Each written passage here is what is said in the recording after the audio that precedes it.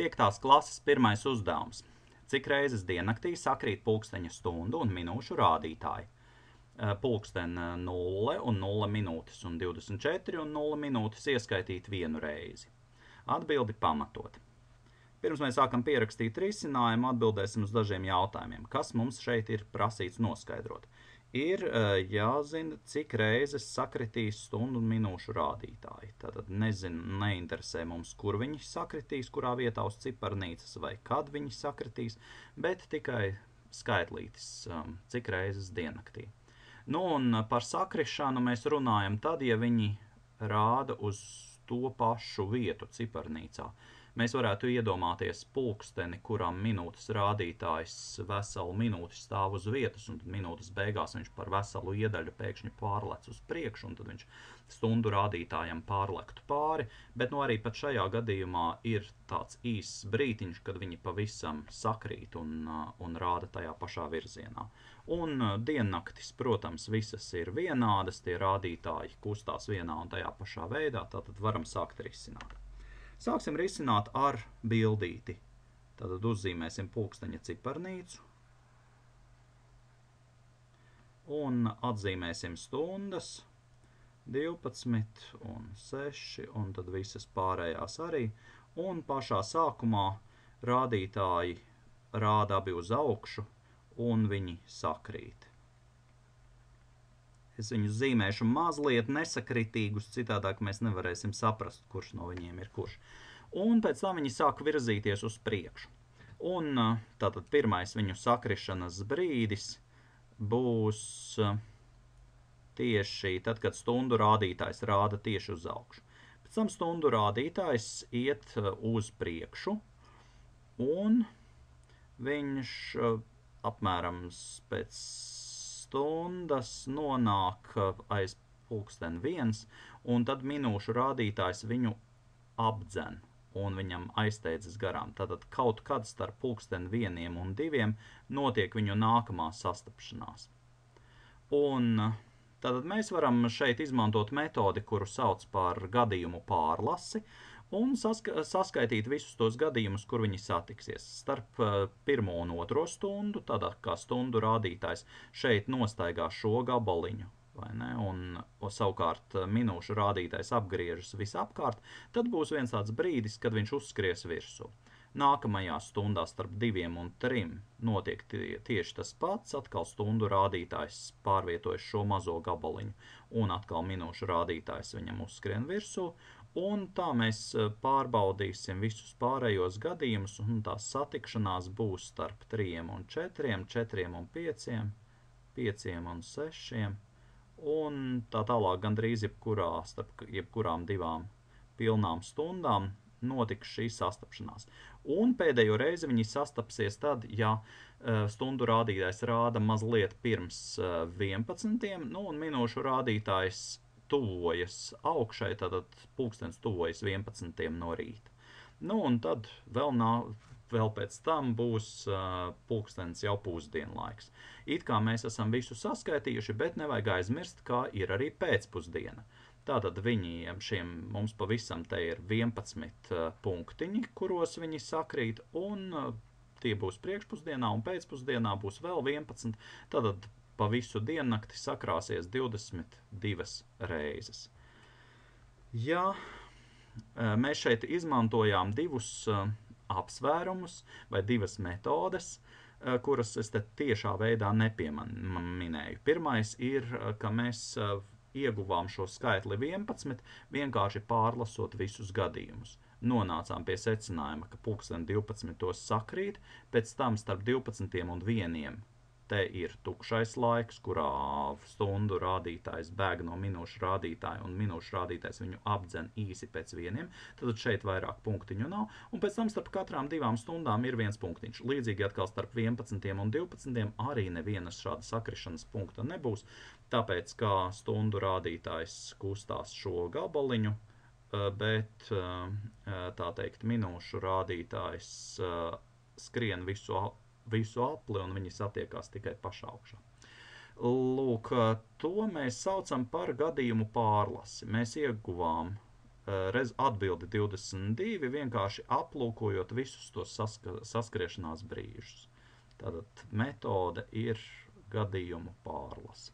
Un to mēs varam izmantot arī citiem uzdevumiem, ja mums ir līdzīgs uzdevums ar nelieliem skaitlīšiem, kur mēs varam visus šos gadījumus izmodelēt un apskatīties. Un šeit netieši tika izmantots vēl, vēl viena svarīga matemātiska īpašība, tā, ka ja minūšu rādītājs, piemēram, virzās um, 12 reizes ātrāk nekā stundu rādītājs, bet stundu rādītājs, teiksim, pārvietojās starp kaut kādām stundām, teiksim, starp 3 un 4, tad viņi obligāti tas minūšu rādītājs kaut kādā brīdī precīzi sakritīs ar, um, ar uh, stundu rādītāju. Tad iestāsies brīdis, kad viņi sakrīt. Un tas izriet no šo rādītāju nepārtrauktas kustības. Nepārtraukta kustība. Nepārtraukta kustība nozīmē, ka ja ir uh, divi, uh, divi objekti, no kuriem viens kustās ātrāk nekā otrs, bet uh, tas lēnākais ir priekšā, tad iestāsies tāds brīdis, kad ātrākais precīzi panāks lēnāko un viņu, viņu atrašanās vietas tieši sakritīs. Uh, Tad, ja kustība nav nepārtraukta, ja tas minūšu rādītājs prot kaut kā pārliekt stundu rādītājiem, tad, protams, šāds sakrišanas punkts varētu arī nerasties. Bet, nu, kā mēs zinām, dabā pat, ja tiem pulksteņiem, kuriem minūšu rādītājs pārlec ļoti fiksi, viņš ne, nepārvietojās bezgalīgi ātri, tad vienalga būs kaut kāds brītiņš, kad viņš sakritīs. Otra, mēs varam izmantot arī citu metodi, ko mēs varētu saukt par uh, ātrumu atņemšanu.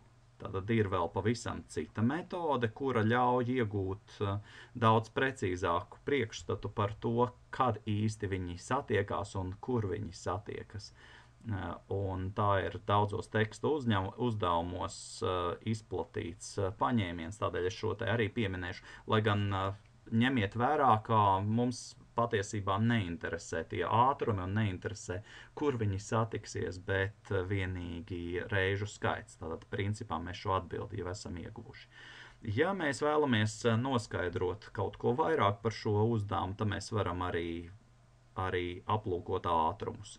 Runājot par ātrumiem, ir sekojoši. Mums um, stundu rādītājs vienas stundas laikā, viņš ciparnīcu pārvietojās no pulksten 12 līdz 1, pārvietojās uz priekšu pa piecām iedaļām.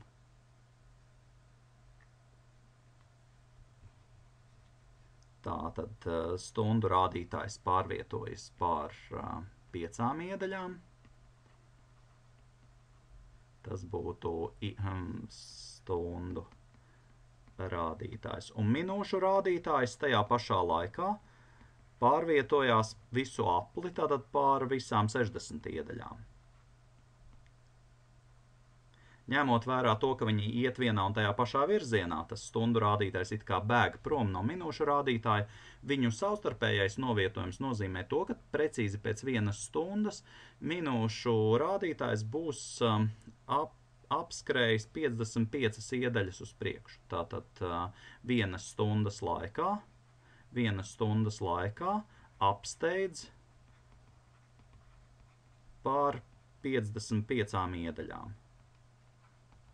Vai, ja mēs skatāmies drusku atpakaļ, tad uh, pēc vienas stundas šis minūšu rādītājs par piecām iedaļām tikai atpaliks. Nu, un mums, protams, interesē, kad uh, minūšu rādītājs apsteigs stundas rādītāju precīzi par 60 iedaļām.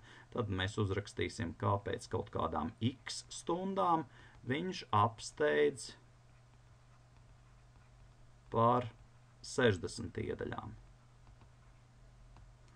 Nu un uh, uzrakstīsim tā, kā viņi visi pārvietojās vienmērīgi, tad mēs varam uzrakstīt nelielu uh, sakarību, kā viena stunda pret x stundām attiecas tāpat kā 55 iedaļas attiecas pret 60 iedaļām. jeb, ja mēs vēlamies drusku vienkāršot šo no sakarību, tad 1 reiz 60 ir tas pats, kas x reiz 55. Mēs te tā krusteniski sareizinājām x ar 55 un savukārt vienu stundu ar 60.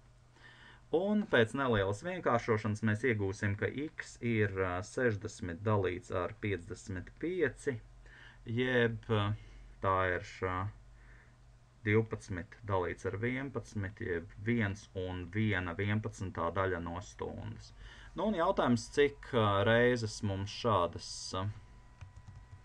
sakrašanas notiks, ja ik pēc 1 un 1 11 daļas stundas sakrīt, tad mums ir 24 stundas, mums viņas ir jādala ar 1 un 1 11. Un mēs iegūsim, kā 24 pirmās dalam ar 12 11.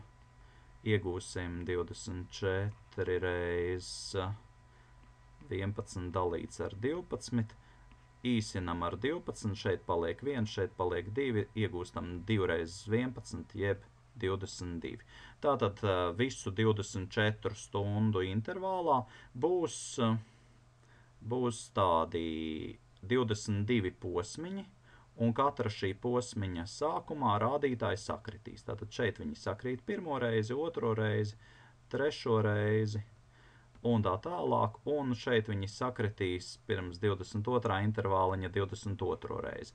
Te pašās diennakts beigās būs iestāsies vēl pat arī 23. reize, bet tā mums nav jāieskaita, jo mums pulksten 0 un pulksten 24, tā mums ir jāieskaita tikai viens no šiem šīm reizēm. Tādēļ esam ieguvuši, ka arī pēc šīs metodas mums sarēķinot, cik pilni intervāliņi ar šādu te vienu, viens un vienu 11. daļu no stundas ietilps, tad uh, to būs arī precīzi 22.